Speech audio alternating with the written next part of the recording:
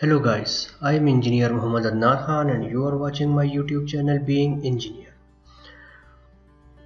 In this video, we will discuss the types of defects that can occur in a flexible pavement or in asphalt or what are the types of cracks that can occur in flexible pavement what are their remedies how can the, the how these cracks can be fixed we will discuss 11 types of cracks that can occur in asphalt their causes and the remedies.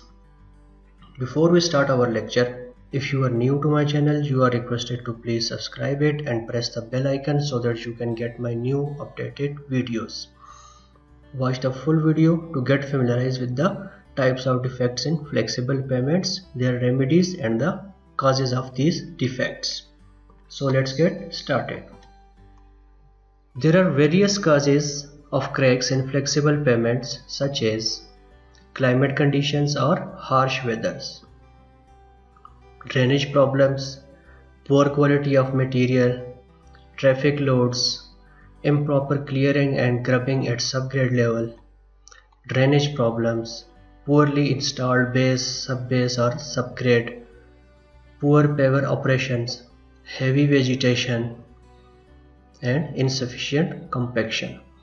These all are the causes which are responsible for cracks in flexible pavement. Types of cracks in asphalt. First one is fatigue cracking. It is also called as alligator cracking because of its resemblance with the shape of alligator or crocodile. It is load associated structural failure. It means it is caused by excessive load. What are the possible causes? Weakened base or subgrade. Not enough pavement thickness. Poor drainage and what are the remedies for fatigue cracking full depth patch this patch has to be removed to the full depth up to the subgrade level and then laying the layers one by one to rectify this crack number two block cracking these are large rectangular cracks on the surface as you can see in this picture these appears as a rectangles on the surface of the pavement they usually cover a large area and may happen when there is a little or no traffic. These cracks aren't load associated. Causes This is generally caused by shrinkage of the asphalt due to temperature changes. Placing of mix to dry.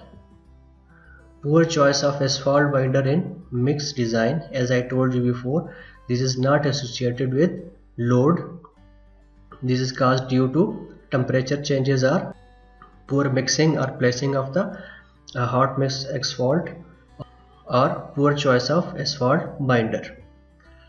And what are the remedies for this cracking?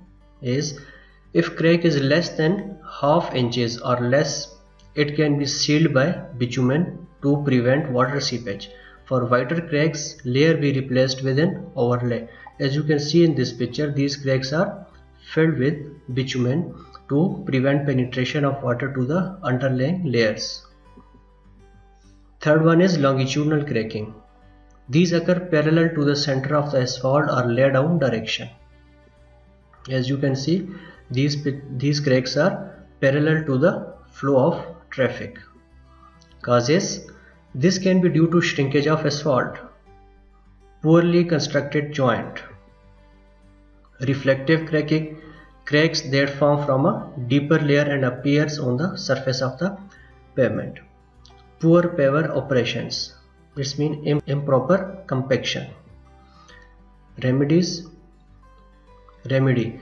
If the crack is less than half inches or less it can be sealed by bitumen to prevent water seepage.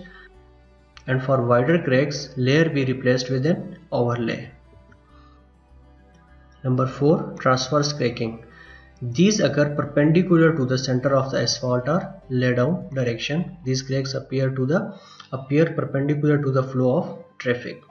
What are the causes? This can be due to shrinkage of asphalt or poorly constructed joint or maybe due to reflective cracking cracks that forming from a deeper layer or poor paver operations.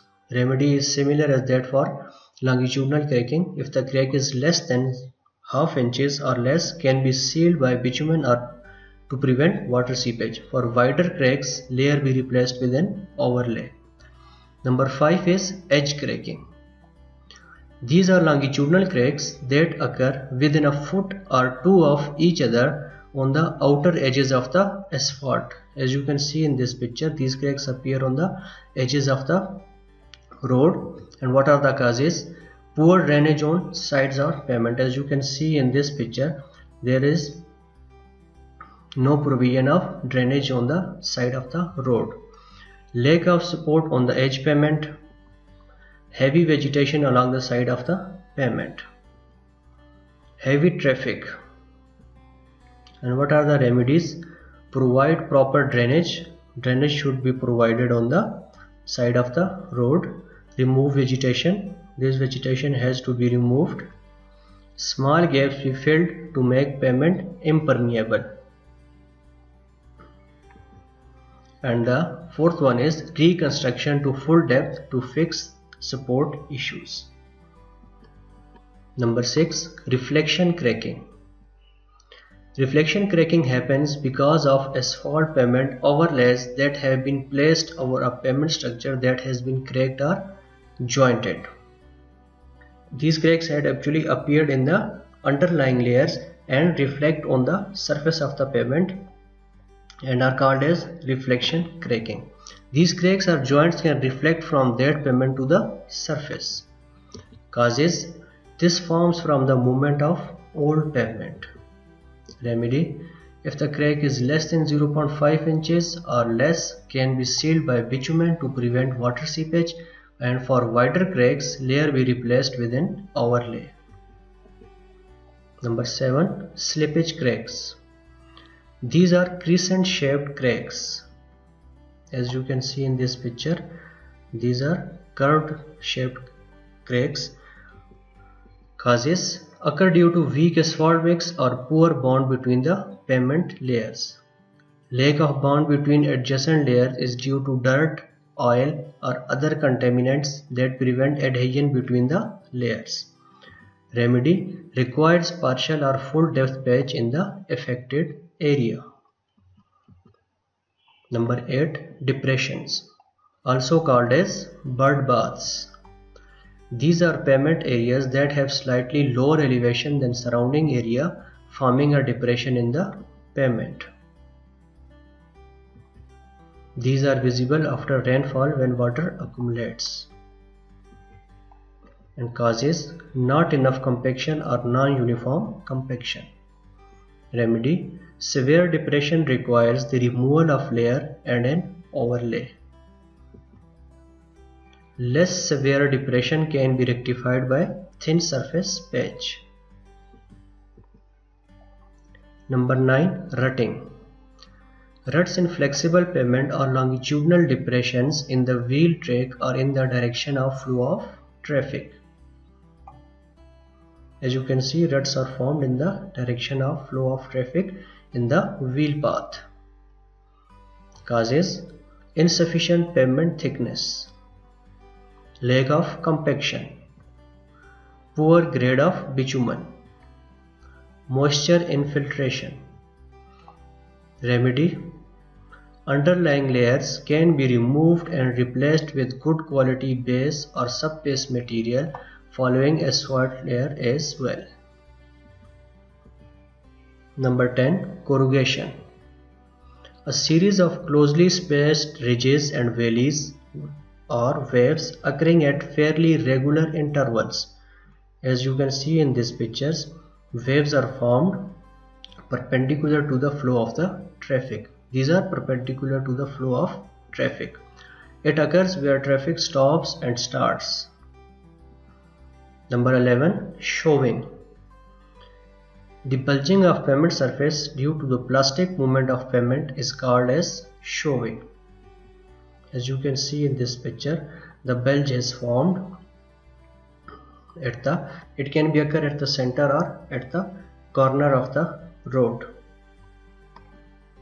it occurs at a point where a vehicle pulls its brakes or at a point where pavement meets rigid objects.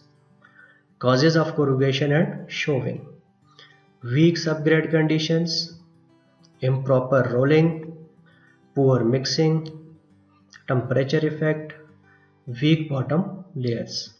And what are the remedies for corrugation and shoving?